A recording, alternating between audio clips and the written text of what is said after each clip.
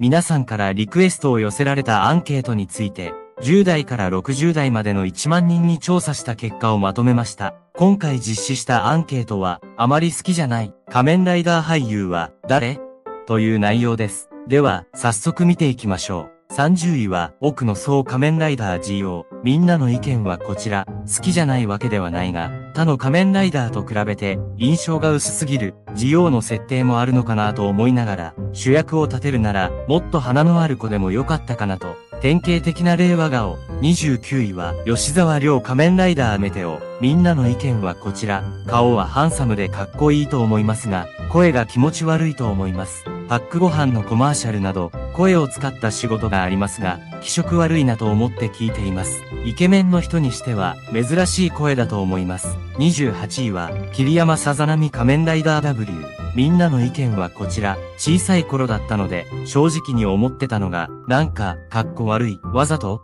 というかふざけているような感じがして、菅田将暉がかっこよく見えてあまりに好きになれなかった。27位は犬飼厚弘仮面ライダービルド。みんなの意見はこちら。ライダー作品と直接関係している理由ではないが、売り出し方、あるいは本人の仇なのか、謎のダウナー系クズキャラを押し出しているのが、正直残念極まりないと思ってしまった。26位は、高橋文也仮面ライダー01。みんなの意見はこちら。演技がたどたどしい印象を受け、もう少しなんとかならなかったのかなと思ってしまいます。見た目はいいだけに、もったいないなという印象を受けました。再度チャレンジしてほしいです。25位は、高杉俊介仮面ライダースーパー1。みんなの意見は、こちら。仮面ライダー OB から金銭トラブルを多数抱えるトラブルメーカーが出てしまったという事態に衝撃を覚えたが、スーパーインチについては CS で再放送されているものをよく主張していたので、なおさらショックが大きかった。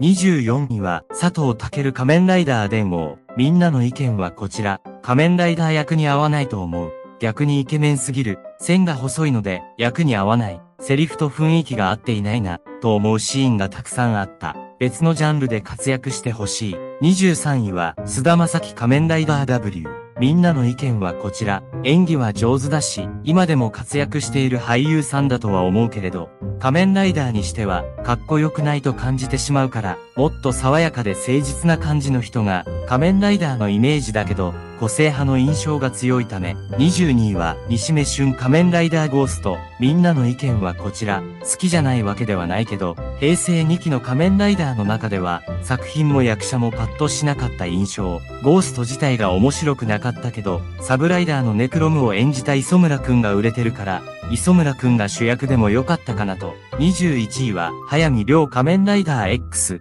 みんなの意見はこちら。X 自体は見た目はかっこいいのですが、やっぱり俳優さんにインパクトがあまりない。他の昭和ライダーの俳優さんと比べると、あんまり似合ってなかったので、好きになれなかったです。20位は、村上博明スカイライダー。みんなの意見はこちら。虫っぽさが強くて、ちょっと苦手でした。スカイライダーのデザインが、特に昆虫的な要素が強調されており、見た目が怖く感じられました。また、彼の物語や戦闘スタイルにも、あまり共感できず、他のライダーと比べて、魅力を感じにくかったです。そのため、あまり好きになれませんでした。19位は、白石俊也仮面ライダーウィザード。みんなの意見はこちら。演技に作られたキャラという感じが強く、あまり作品に没頭して見れなかった。毎週日曜日に楽しみにしていた時間があまり楽しみになれなくて、日曜日の仮面ライダーの時間にあまり見ようと思わなかった記憶がある。18位は、菅秀吉仮面ライダー技術。みんなの意見はこちら。本当にすいません。変身後の見た目が知ってるライダーじゃないって感じが強くて苦手です。仮面ライダーって虫じゃなかったっけ？っていう感じが抜けず、俳優さんが好みではないという理由ではないです。仮面ライダー技術はとても面白く見応えのある作品でしたが、主人公のキャラクターよりも周りの役者さんたちの方に意識が向いていました。バランスも良かったし問題はないのですが、17位は宮内用仮面ライダー V3。みんなの意見はこちら。正直このシリーズは嫌いだった。まあ前回シリーズの後で難しかったと思うけど、何かごちゃごちゃした感じしかしなかったし、1号、2号をサブ的に使いすぎてブレていた。だから、主人公も嫌いになった。ビデオで見ましたが、若い頃の宮内洋さんの演技が、そんなに上手くなかったように感じてます。年がいってから味わいが出てきましたが、なんとなく当時の演技は照れくささを感じてしまいました。16位は細川茂樹仮面ライダー響き。みんなの意見はこちら。楽器で戦うコンセプトがあまり好きになることができませんでした。あと和風なテイストも世界観にはまることができませんでした。自分の中では響きは自分の中では黒歴史になっています。パワハラ騒動。みたいなことがあって、あまりいい感じじゃなくなってしまって、見る目が変わってしまい、本当かは、今でも真相が闇の中で、本当のことを、細川茂樹さん本人の口から言ってほしいなと思いました。15位は、山口明ライダーマン。みんなの意見はこちら。口元が見えていて、夏の暑い季節では涼しそうだが、ちょっと格好悪く感じるから、ライダーマンのデザインが他の仮面ライダーと比べて異質で特にヘルメットの形状が好きではありませんでした。また、キャラクターの立ち位置やストーリー展開においてもあまり魅力を感じることができませんでした。キャラクターデザインの手抜きが感じられてダメでした。初代からバージョンアップしてきた形を崩したことになったと思う。もう少し考慮すべきではなかったか。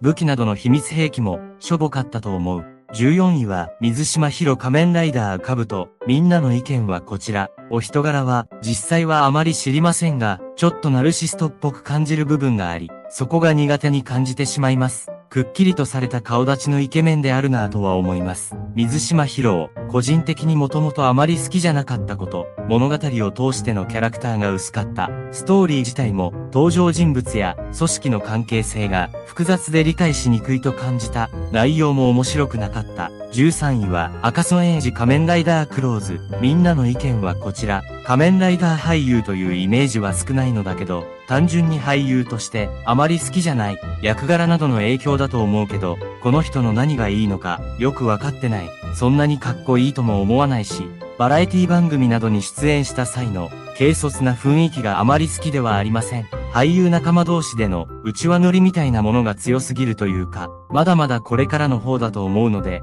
今後のご活躍に期待します。12位は、倉田哲夫、仮面ライダーブラッククス。みんなの意見はこちら。仮面ライダーブラックの少しダークな作風と、倉田哲夫の熱いながらも、どこか影のある熱演が非常にマッチしており、とても作品としては好きな作品なのだが、だからこそ、近年の倉田哲夫のトラブルが残念でならない。過去に仮面ライダー好きじゃない発言をしたから、ご自分が経営しているステーキ屋に、無断で自分が演じていた仮面ライダーの商品を展示していたりと、本当に仮面ライダーを演じていたと思えないから、11位は内藤修一郎仮面ライダーセーバー。みんなの意見はこちら。ライダー放送当時からスキャンダル的な噂コンビニの前に座り込んで、タバコを吸うなどを耳にしていて、あまり日、朝のヒーローにふさわしい方ではないと感じていました。SNS でファンの描いたイラストを無断転載の形で上げていて、一時期話題になっているのを見て、モラルというか、リテラシーに欠けている人なのかなというイメージが残っているため、10位は、標準仮面ライダー G3。みんなの意見はこちら、変身が嫌いだから、この人は人間がライダーを作り出す会の着用要員なんです。強くありたい気持ちや正義感はありますが、歴代の葛藤みたいなものがなくて、なんか違和感を感じてました。売れっ子でお仕事もたくさんあるので、順調だと思いますが、発言があまり良い印象がないです。自分の意見を出しすぎているというか、余計なことを言って、自分でイメージを下げているなと思います。9位は、小田切城仮面ライダークーが、みんなの意見はこちら、新しく平成ライダーの時代を作ったと評価されてはいますが、どうも役者的に、小田切城は、ライダーに合ってなくて、あまり好きじゃありません。正義のヒーローの感じがしない、昔の作品なので、仕方ない面はありますが、ちょっと古臭く、あまりいい作品だとは感じませんでした。演技もいまいちといった印象を受け、残念だなと思いました。キャストミスかなと思います。小田切城さんも、濃ゆい方だと思うので、少し苦手です。髪型とか、お髭がチャラそうなので、さっぱりして清潔感があるように整えてほしい。お顔自体は整っていると思います。8位は、井上正宏仮面ライダーディケード。みんなの意見はこちら。役柄の問題もあったかと思いますが、毎週楽しく見るとはできていましたが、発言や動きに対して鼻につくと子供ながらに感じていました。また、カメラを意識した動きがさらに感に触りました。強いて言えばこの人、演技が他の人と比べると足りないと感じ、序盤は彼の演技になれるまで話が入りづらかった。しかし、半年という短い間に徐々に上達していたのが印象的。仮面ライダーディケードがたまに出てくるので、本当にいい加減にしてほしいと思います。いつまで過去のライダーを出すんですか？井上さんは金銭トラブルなどあって、クリーンではないかもしれません。ライダー俳優としては適していないような気がしました。7位は岡崎徹仮面ライダーアマゾン。みんなの意見はこちら。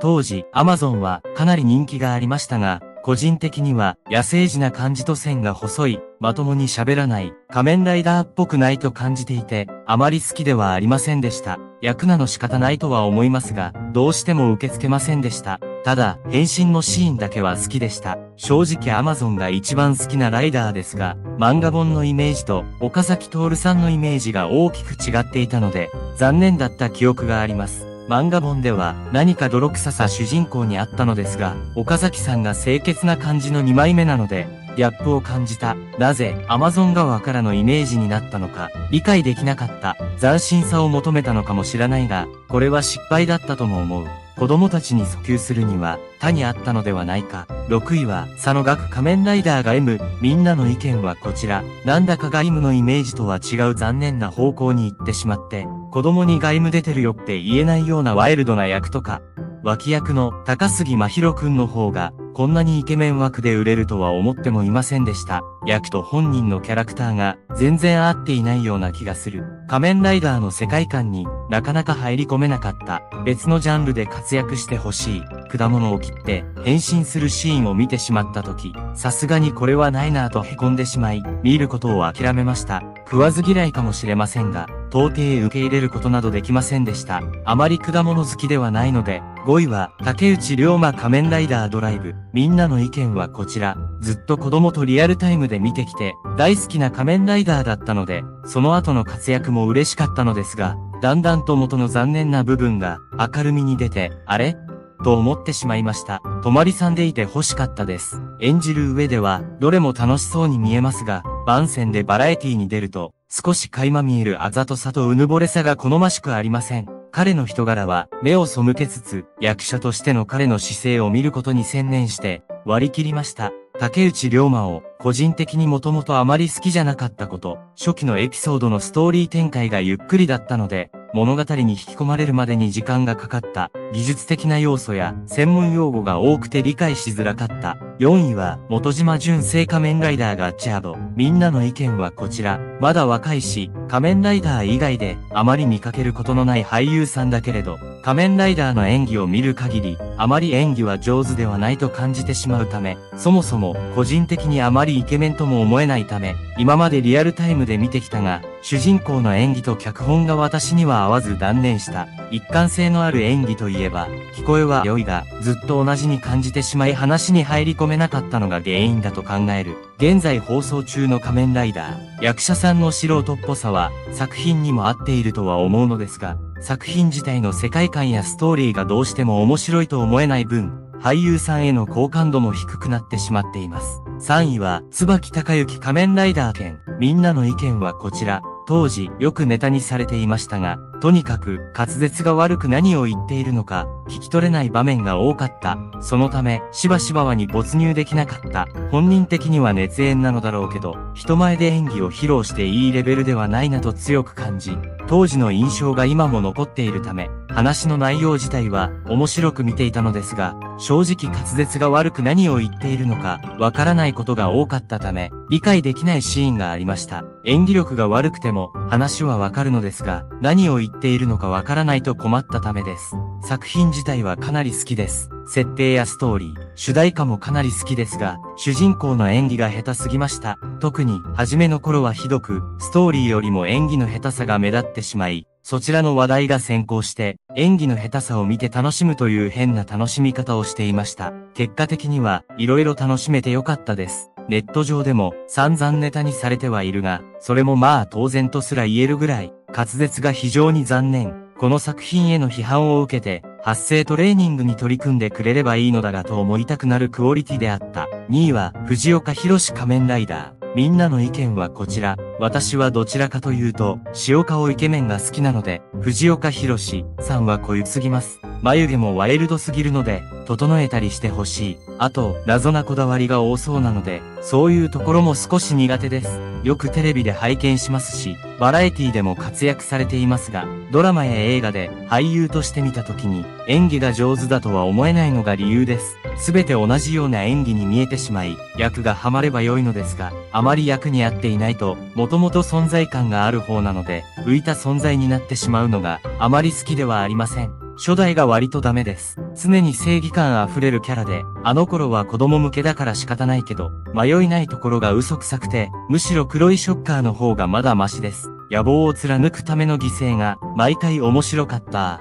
顔の圧が強くてお腹いっぱいになる。ご家族でいられるのなどを見ても、とってもいい人そうだなぁと感じるが、出演されていると、何にせよ、顔の圧の強さで、ついチャンネルを変えてしまう。1位は、福祉青たかり面ライダーフォーゼ。みんなの意見はこちら。作中でのキャラクターは楽しく演じられていましたが、いざ俳優として活躍する中で、どうしてもこもったような、低い声質と話し方が、ちっとも演技に活かされてなくて、もったいないです。顔とスタイルは良い方ですが、かっこいいとは思えませんでした。ロケットに似た容姿なのも好きになれませんでした。他にも被らないように、色々容姿を変えて、新しいライダーが出てきていますが、今の時点でも一番かっこよくないです。俳優さんはタイプですが、仮面ライダーは見た目が知ってるやつじゃないんで、苦手です。そして、仮面ライダーっていうよりか、ゴレンジャー寄りな感じだったり、近未来な雰囲気がタイプではない。よく見る俳優さんで人気がありますが、少し演技に幅がないように感じます。また見た目が同じような俳優さんが結構いらっしゃるので、